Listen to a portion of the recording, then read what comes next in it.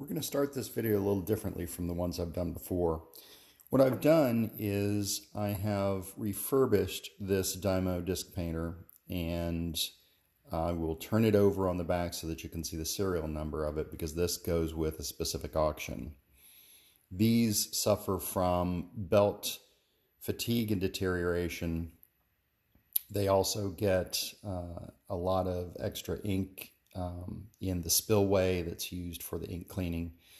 But one of the things that's happened with these is you can no longer get the Dymo um, number 11 um, print cartridges, or if you can get them, and I did find some uh, overseas, they are so old that they have become unpredictable. Sometimes they work, sometimes they don't. Sometimes they print two colors, maybe one color uh, some mixed together. And at this point, I've just stopped using them completely. I found a drop in replacement from Lexmark. Lexmark, and I'll show you another container of that in just a moment.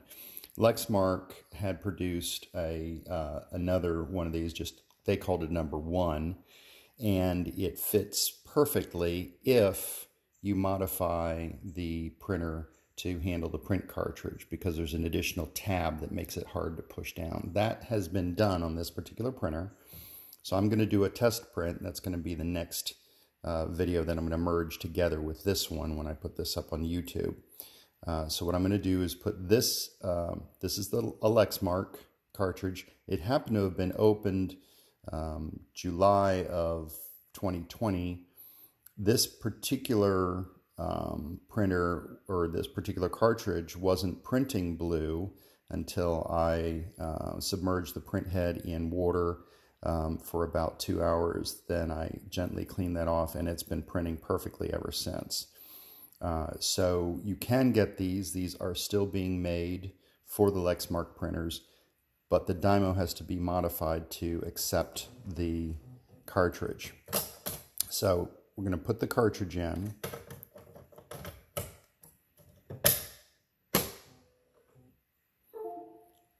Now I have the Discus Dymo software that comes with the printer on Windows 10. I don't support the software. So if the software doesn't work for you, that's not something I'm going to try to repair or take care of. Now the printer has just uh, accepted that print cartridge. I have a green indicator and I have the print cartridge indicator that isn't showing anything. Basically, it's it doesn't have a problem with the cartridge. It's happy with the cartridge. The next step is I will start a print on a fresh CD so that you can see it print. When it's done, I'm not going to splice anything together. I'm just going to pick this printer up and turn it over so you can see the serial number on the back because that's going to match the uh, the eBay ad. And I'm doing that because I want you to know that the printer that you're buying is actually the printer that printed.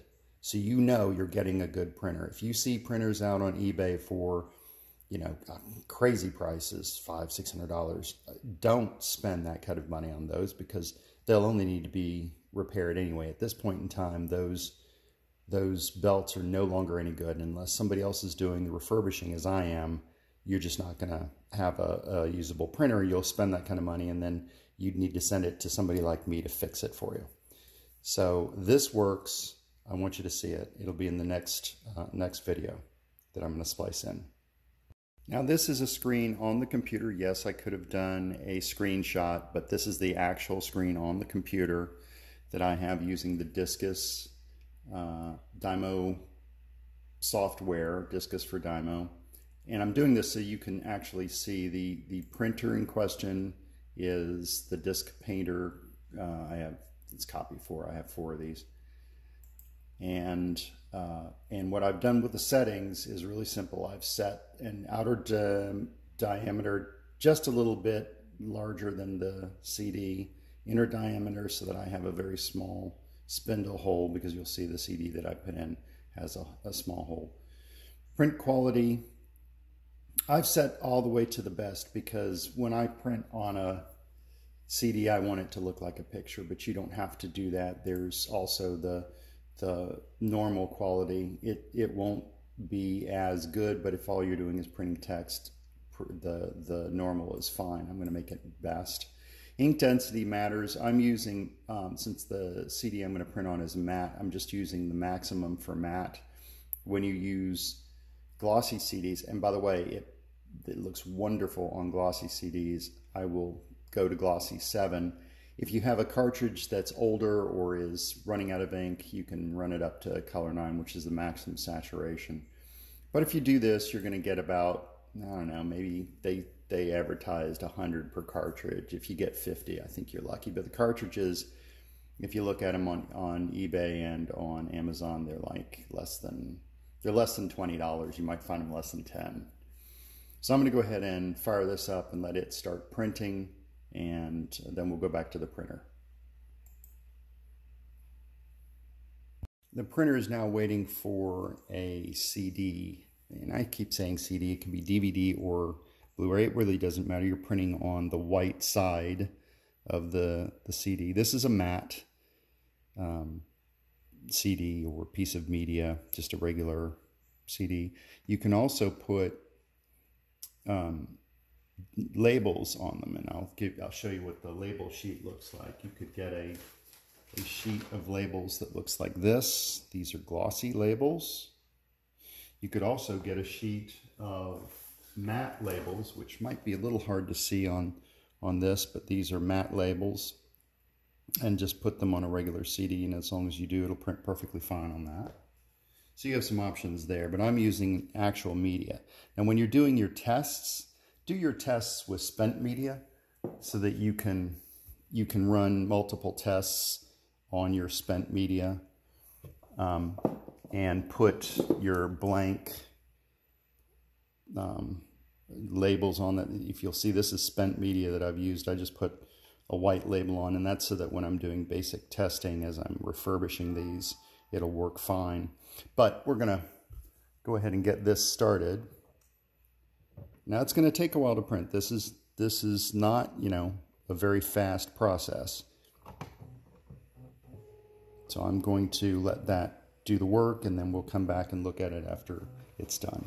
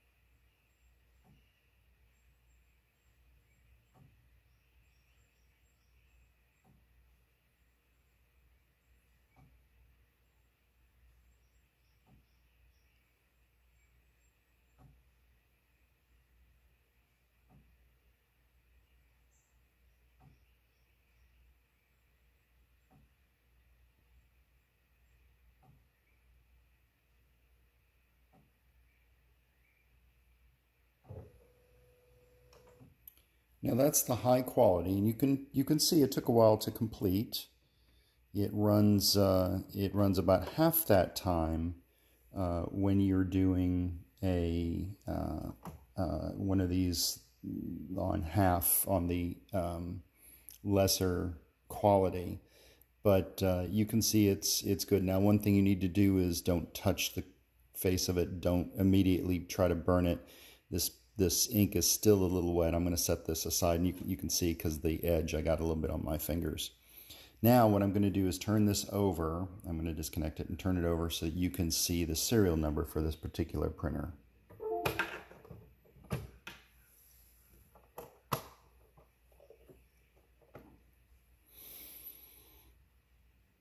The serial number um, ends in 93448, um, but notice the beginning of it. So there's your your your model number and then your serial number there. Um, sorry, here's your actual serial number. Uh, and that serial number is the printer that you will be getting. And that uh, that concludes this video. One, oh, one other thing I was going to tell you about before I forget. The Lexmark number one cartridge is readily available and this is a printer that's been modified to work with that Lexmark. The old Dymo uh, 11s, you may find them. This will still work with the Dymo 11 even after it's been modified, but these cartridges, as I said, the cartridges that I purchased in bulk for resale ended up having so many problems I stopped selling them. So um, the good news is the ones that I sold seem to have been okay, but uh, again, I would stay away from these.